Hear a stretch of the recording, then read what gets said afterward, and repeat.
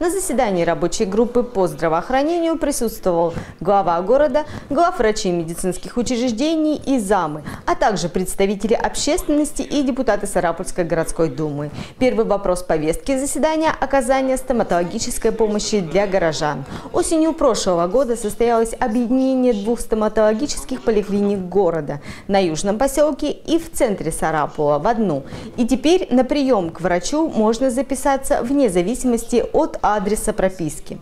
Горожан обслуживает 34 врача-стоматолога. Из них 7 врачей детского профиля. Детское отделение работает и на южном поселке, и в стоматологии по адресу Азина 17А. К какому бы адресу ребенок не, относился, его примут что там, что на Азина, что на Фронс 10. По обращаемости населения ну, как бы выкладываются номерочки у нас идет через сеть интернет, основная масса будет до 80%, и идет запись по телефону.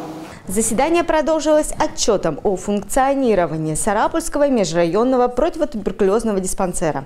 В прошлом году в диспансере был проведен капитальный ремонт части помещений.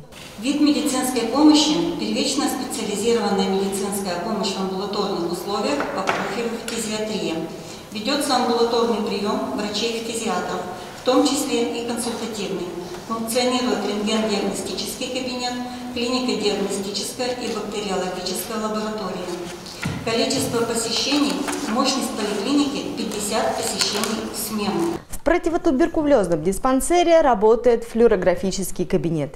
Также флюорографию можно пройти в поликлиниках по адресам Ленина 5, Калинина 1 и на Южном поселке по адресу Молодежная 7. Начало приема 8 часов. Также на заседании обсудили ситуацию с заболеваемостью ковид-инфекцией, диагностированием и лечением ковид-больных. Прием ведется на дому только защищенными мобильными бригадами, медицинскими сотрудниками.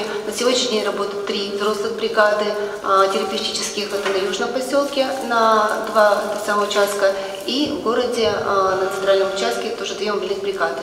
Также забор мазков производится на дому и организованы кабинеты с отдельными входами а, значит, для э, самообследования на ПЦР, на коронавирусную инфекцию в поликлиниках. Это третья поликлиника, первая поликлиника, поликлиника Южного поселка, тоже защищенными отдельными входами. Стационарное лечение больные проходят в республиканских медучреждениях, куда доставляются автомобилями скорой помощи. Обсудили ситуацию с бесплатной вакцинацией от ковид. Вторым компонентом вакцины привито уже более 1900 человек. На вакцинацию можно записаться через госуслуги, единый портал, через портал обратной связи, если кто-то не смог записаться, мы персонально с ним работаем, по телефону 41429, через любую регистратуру.